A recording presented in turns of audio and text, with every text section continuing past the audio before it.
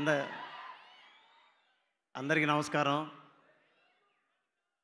ఈరోజు మిమ్మల్ని అందరినీ ఇలా తలెత్తి చూస్తున్నానంటే తలెత్తుకునేలా చేశారు రవి సార్.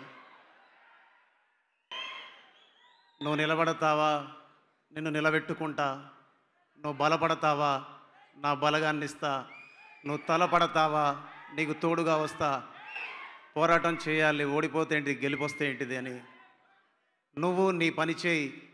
నువ్వు మాట్లాడొద్దు నువ్వు నీ పనితో మాట్లాడు అని నన్ను ముందుండి నడిపించిన నా ప్రేమ గల్ల వాక్యం దైవ వాక్యానికి మనస్ఫూర్తిగా శిరస్సు వంచి పాదాయ వందనం. బెంగాల్ టైగర్ నన్ను ప్రపంచం ముందుకు నిలబెట్టింది. ధమాకా ప్రపంచ వేదిక మీద నిలబెట్టింది. సార్ మీతో పనిచేయడం అంటే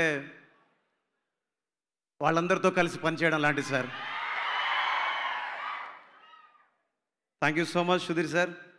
And thank you so much Abhishek నా Abhishek Nama sir. Thank you so much everyone love you all